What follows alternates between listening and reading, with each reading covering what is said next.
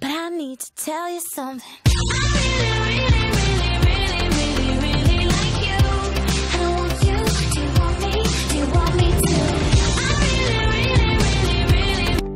Hello guys welcome to Desi media news तो guys आज हम बात करेंगे ब्लैक विडो के बारे में। तो finally Black Widow Iron Man 2 में सबसे पहले कैम्यू देने वाला ये कैरेक्टर जो कि काफ़ी इम्पोर्टेंट था जी हाँ और देन कभी किसी ने उम्मीद भी नहीं करी थी कि इस कैरेक्टर पर आगे इन फ्यूचर सोलो मूवी बनेगी।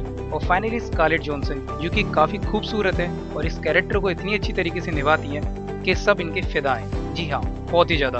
अब इनके ऊपर फाइनली एक मूवी बन रही है, जो कि एक सोलो मूवी होगी ब्लैक विडो और इनका एक डायरेक्टर कंफर्म हो चुका है, जो कि एक ऑस्ट्रेलियन डायरेक्टर है कैटी स्ट्रॉलैंड जो कि बहुत ही अच्छी डायरेक्टर है। और इसकी अगर टाइमलाइन की बात करी जाए तो आपको मैं टाइमलाइन बता देता हूँ। तो ब्लैक विडो की जो टाइमलाइन होगी, वो आयरन मैन वन से पहले की टाइमलाइन होगी। जी हाँ आपको जो भी इसके इवेंट दिखाई दिए जाएँगे, वो एक प्रिकल होगा। यानी कि वो आयरन मैन से पहले की बात होगी। ब्लैक विडो में जितने भी सीन होंगे, वो सब आयरन मैन से पहले के होंगे। ना कि इन फ्यूचर के कोई भी सीन तो ये काफ़ी डिफरेंट कॉन्सेप्ट है मार्वल का, क्योंकि मार्वल फ़ेज़ फोर में जितनी भी मूवी रिलीज़ करेगा, वो सारी पहले की स्टोरी दिखाएगा कि वो कैसे आए कहाँ पढ़ते इतने टाइम पहले? और ब्लैक विडो कैसे मतलब ऑरिजिन मतलब कैसे बना?